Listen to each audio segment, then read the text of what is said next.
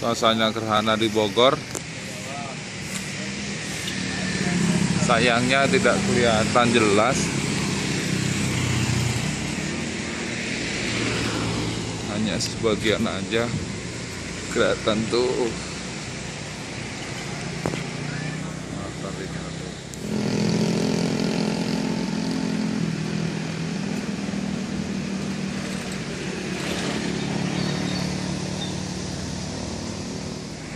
jadi nggak terlalu kelihatan.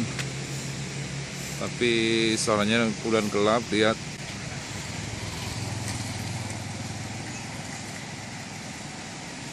Gelap semuanya